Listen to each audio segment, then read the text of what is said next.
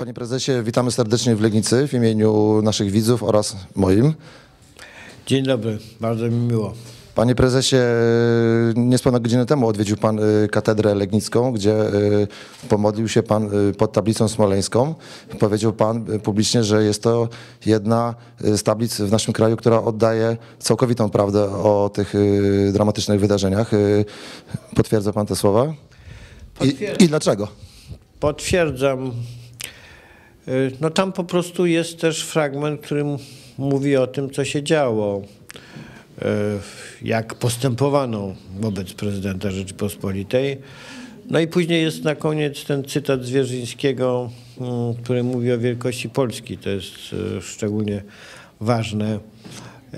Ja widziałem dziesiątki, a może nawet już więcej niż dziesiątki takich tablic, bo ich jest w Polsce już w tej chwili, Bogu dzięki, bardzo dużo i ciągle ta liczba się zwiększa, natomiast takiej nie widziałem i stąd moja ogromna satysfakcja i przede wszystkim ogromna wdzięczność i dla biskupów i dla księdza Infuata, który to bezpośrednio przeprowadzał, dla obecnego księdza proboszcza, no i dla wszystkich fundatorów, wszystkich, którzy się przyczynili do tego i zresztą wszystkich, którzy także co miesiąc mm, tą już nie rocznicę, a miesięcznicę obchodzą. Powtarzam, dziękuję z całego serca, dziękuję, jestem naprawdę bardzo wdzięczny. Na tej tablicy jest y, też informacja o tym, iż y, pan prezydent Lech Kaczyński świętej pamięci walczył o niepodległość Polski, o przywrócenie niepodległości y, Polski. To jak, panie prezesie, z tą niepodległością jest? Rzeczywiście Polska jest niepod... wciąż może narzekać na brak niepodległości? No, mój brat był przecież działaczem wolnych związków zawodowych, później Solidarności tej legalnej, później podziemnej, więc w oczywisty sposób walczył o niepodległość Polski. Natomiast jako prezydent Rzeczypospolitej zabiegał o to, żeby ta niepodległość była także podmiotowością polityczną, żeby Polska nie była krajem sklientyzowanym i e, o to, żeby ta niepodległość była trwała i o to, żeby Polska się liczyła.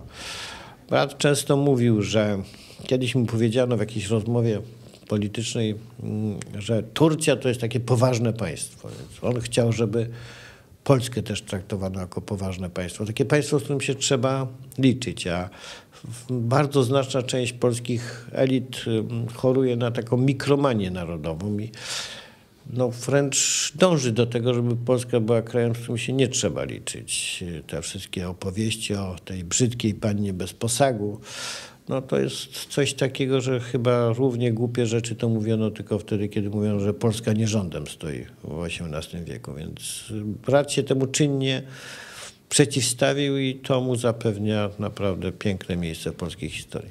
Panie prezesie, y, odwiedził dzisiaj pan Legnicę, y, miasto, którym od 1993 roku rządzi Sojusz Lewicy Demokratycznej oraz ludzie y, z tym ugrupowaniem politycznym związani. PiS regularnie przegrywa w naszym mieście wybory, zresztą podobnie jak, jak ostatnio w kraju ta zła pasa waszego ugrupowania trwa. Jak pan myśli, co trzeba zrobić, żeby to zmienić? Za dwa lata mamy wybory samorządowe, samorządowe, yy, te, te samorządy wiem, że dla PiSu są też szalenie istotne i będzie te wybory będą takim przygotowaniem do wyborów, do batalii parlamentarnej. Zawsze tak jest, a w Polsce bardzo duża część władzy jest w samorządach i bardzo duża część środków finansowych jest także w samorządach i to ma wartość samą przez się. No rzeczywiście jest tak, że no w tej zachodniej części kraju idzie nam gorzej niż we wschodniej. Będziemy pracować i pracujemy nad tym, żeby to się zmieniło kiedy patrzę tutaj na pomnik przyjaźni polsko-radzieckiej, no to rzeczywiście widzę, kto tutaj rządzi i mam nadzieję, że przyjdzie taki czas, kiedy to się zmieni. Ale proszę pamiętać, że Legnica była miastem bardzo specyficznym. To było przez wiele lat miasto trzech narodów. Tu byli Polacy, byli Żydzi, no i byli Rosjanie, było ich bardzo dużo. A później przyszedł 68 rok, wiadomo e, że Żydzi stąd wyjechali, pozostali Polacy i Rosjanie, ale ciągle no, tą grupą dominującą byli Rosjanie, bo Polska była podporządkowana Związkowi Sowieckiemu. Tu było, było dowództwo najpierw e, północnej grupy, a później w ogóle to dowództwo strategiczne. Mała Moskwa.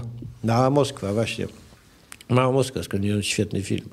A otóż e, jest tak, że że to pozostawia ślady. No, z tego sobie trzeba zdawać sprawę. My tu jednak na tych ziemiach też potrafimy wygrać, jak w Bolesławcu mieć prezydenta. E, ale tu jest, tu jest trudniej. No ale cóż, kiedyś województwo świętokrzyskie było, jak to się mówi, czerwone. Przyjechał tam, nie mając właściwie nic.